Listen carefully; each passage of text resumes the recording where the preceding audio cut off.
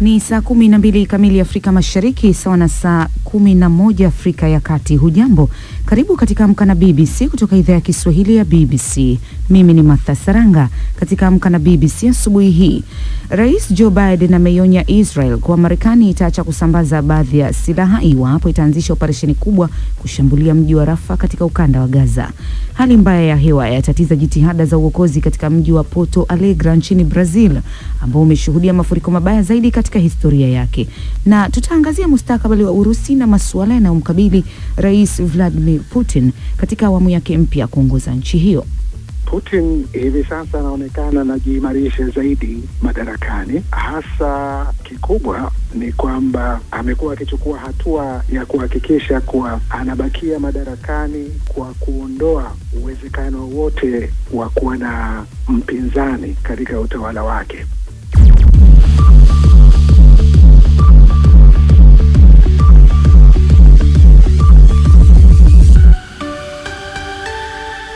Lakini kwanza nampisha mwenzangu Phyllis Mwate kwa muktasari wa habari za dunia. Shukran Martha. Habari kuu asubuhi ya leo: juhudi za uokozi katika mji wa Porto Alegre nchini Brazil, ambao unakabiliwa na mafuriko mabaya zaidi katika historia yake, zimesitishwa kwa sababu ya mvua kubwa na upepo mkali. Watu mia moja wamefariki kutokana na mafuriko na maporomoko ya ardhi katika jimbo la Rio Grande do Sul, na takriban laki moja na hamsini wamelazimika kuondoka makwao. Wakazi walioathiriwa na mafuriko wameweka kambi kando ya barabara kuu ya Porto Alegre. Adan Moreira dos Santos ni mmoja wao. Inatulazimu kuweka kambi hapa kwa sababu hatuwezi kukaa ndani ya maji. Huko maji yana urefu wa karibu mita tatu, tayari yamefunika hata paa. Tunakaa hapa kwa sababu hakuna mahali pengine tunapoweza kukaa. Rais Joe Biden amesema Marekani haitawapa Israel ambazo zinaweza kutumika katika shambulio kubwa kwenye mji wa Rafa kusini mwa Gaza. Akizungumza kwenye kituo cha televisheni cha CNN, Bwana Biden amesema Marekani itaipa Israel silaha inazohitaji kujilinda, lakini Israel haitoungwa mkono kamwe na Washington ikiwa itafanya operesheni za kijeshi katika maeneo yaliyo na raia. Uchunguzi wa BBC umegundua kuwa zaidi ya nusu ya vituo vya maji na usafi wa mazingira eneo la Gaza vimeharibiwa tangu vita vya Israel na Hamas kuanza tarehe saba mwezi wa Oktoba. Wafanyikazi wa mashirika ya kutoa misaada wanasema magonjwa yanaenea kwa kasi kutokana na ukosefu wa maji safi. Uhaba na mafuta pia umezuia mashirika hayo kuleta maji zaidi katika eneo hilo na chama cha upinzani nchini Chad kimelaani kile kinachokiita vitisho dhidi ya mgombea wake wa urais na wafuasi wake tangu uchaguzi wa Jumatatu. Success Masra wa chama cha The Transformers anasemekana kuwa ndiye mpinzani mkuu dhidi ya kiongozi wa kijeshi Jenerali Mahamat debi Hii ni BBC. Muktasari wa habari za dunia umewasilishwa kwako na mwenzangu Phyllis Mwatia akiwa studio zetu za Nairobi. Unaendelea kusikiliza matangazo ya Amka na BBC kutoka idhaa ya Kiswahili ya BBC ikikutangazia kwenye FM redio ya shirika wetu na katika internet kupitia bbcswahili.com. Ukiwa nchini Tanzania tupate kupitia Budi FM, Bomba FM na CGFM. Kenya fuatilia kupitia Mwenedu FM na Nyota FM. DRC tupate kupitia Redio Muungano Beni. Mimi ni Martha Saranga, karibu. Rais Joe Biden amesema Marekani haitasambaza silaha nzito kwa Israel ambazo zinaweza kutumika katika shambulio kubwa katika mji wa Rafa kusini mwa Gaza. Katika mahojiano na CNN, Bwana Biden amesema Marekani itaendelea kuwapa Israel silaha inazohitaji ili kujilinda, ikiwa ni pamoja na vidhibiti vya mfumo wake wa ulinzi wa anga.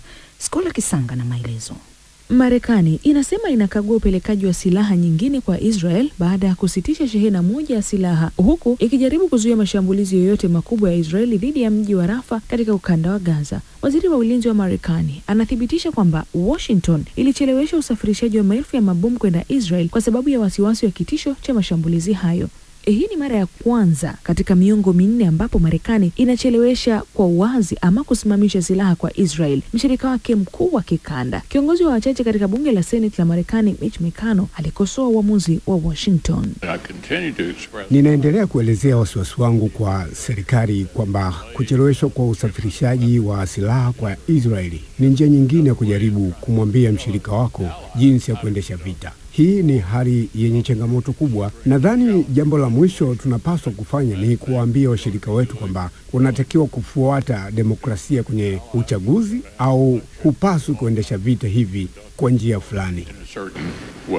Naye mbunge wa Israel amelaumu siasa za ndani za Marekani kwa uamuzi wa serikali ya Biden kuchelewesha kuwasilisha maelfu hayo ya mabomu kwa Israel. Afisa huyo anasema mazungumzo na Israel hayakushughulikia kikamilifu wasiwasi wa Washington kuhusu mahitaji ya kibinadamu ya raia huko Rafa. Alipoulizwa na BBC kuhusu maoni yake, Boaz Bismuth kutoka chama cha Likud cha Benjamin Netanyahu alisema kampeni za uchaguzi wa urais wa Marekani zimekuwa na ushawishi katika uamuzi huu. totally disagree with what I heard before. Sikubaliani kabisa na kile nilichosikia hapo awali kwamba uchaguzi wa Marekani hauhusiani na uamuzi huu. Nadhani namaanisha wengine wanapigania nyumba zao kama sisi kwa manufaa yao, na kupitia sisi wengine wanapigania ili kuingia Ikulu, nikimaanisha kwamba kuna utofauti mkubwa.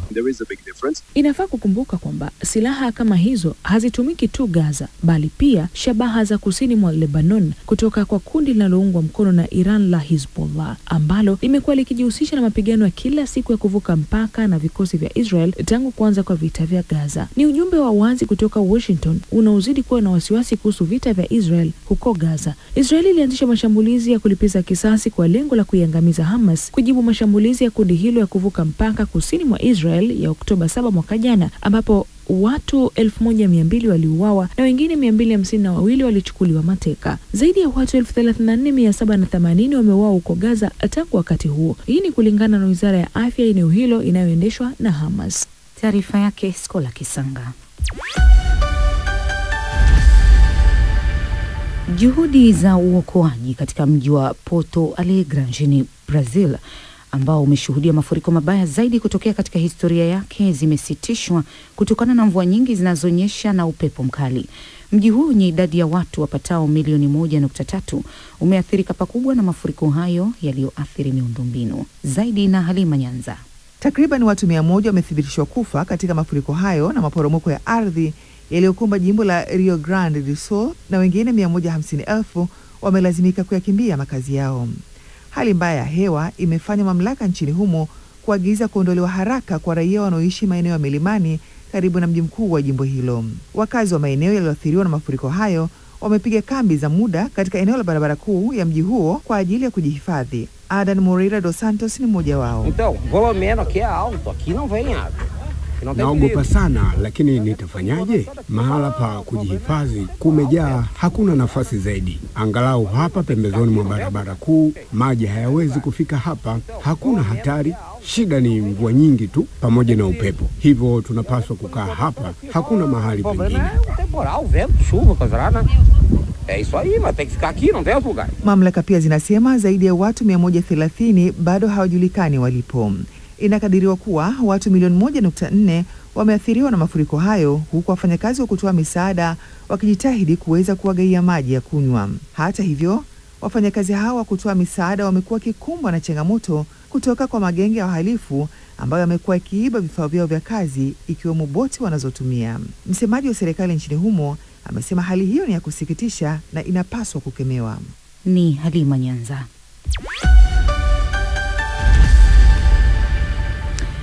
Chama cha upinzani nchini Chad Transformers kimekashifu kile ilichokiita vitisho na vurugu dhidi ya kiongozi na mgombea wake katika uchaguzi wa urais pamoja na wafuasi baada ya uchaguzi wa rais uliofanyika siku ya Jumatatu. Katika taarifa iliyosomwa na afisa, chama hicho kilishutumu baadhi ya maafisa wa serikali na vikosi vya usalama ambao hawakutajwa majina kuwa wanahusika na vitisho hivyo. Elizabeth Kazibure anaeleza zaidi. Chama cha upinzani nchini Chad kimelaani kile kilichokiita vitisho dhidi ya mgombea wake wa urais na wafuasi wake tangu uchaguzi wa Jumatatu. Success Masra wa chama cha The Transformers anaonekana na wengi kuwa mpinzani mkuu wa kiongozi wa kijeshi Jenerali Mahamat Debi. Chama cha upinzani kilisema wafuasi wamekamatwa na watu wamezuiwa kuangazia zoezi la kuhesabu kura. Togiom na Gongar ni katibu mkuu wa chama cha The Transformers.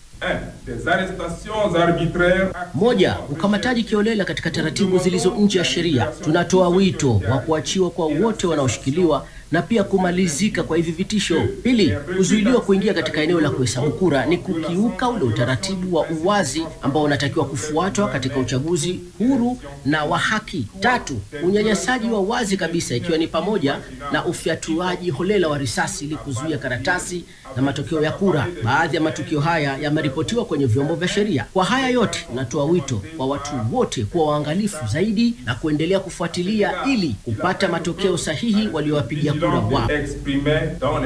Chama cha upinzani kinasema kwamba makazi ya kibinafsi ya waziri mkuu Dr. Success Masra ambaye pia ni mgombeaji katika uchaguzi wa urais yanafuatiliwa kwa ndege isiyo na rubani. Chama cha upinzani cha Transformers kinaelezea hatua hiyo kama ya vitisho na uchochezi, huku kikiibua madai yasiyo na uthibitisho kwamba serikali ndiyo imekuwa ikifanya hivyo. Haya yanajiri wakati shughuli ya kuhesabu kura ikiendelea baada ya wananchi wa Chad kupiga kura kumchagua rais ajai siku ya Jumanne, siku moja baada ya zoezi la upigaji kura. Rais wa mpito Mahamat debi alisifu utulivu wa mchakato wa uchaguzi ambao alisema unadhihirisha kwa njia ya kipekee ukomavu wa kidemokrasia wa watu huru wa Chad. Wa Jumatatu ulikumbwa na madai ya kuwa na kasoro. Siku ya Jumatano, Umoja wa Ulaya uliikosoa Chad kwa madai kwamba karibu waangalizi elfu tatu wa mashirika mbalimbali ya kiraia nchini humo walizuiwa kufuatilia uchaguzi wa urais. Matokeo ya awali yanatarajiwa kutangazwa Mei 21 mwaka huu 2024. Tangu Jenerali Deby achukue mamlaka mwaka 2021, viongozi kadhaa wa upinzani wameikimbia Chad au kuungana na rais. Mpinzani wake mkuu katika uchaguzi na binamu yake Yaya Dilo Jeru aliuawa Februari mwaka huu. Chama chake kilisema alipigwa risasi kichwani katika shambulio la kijeshi.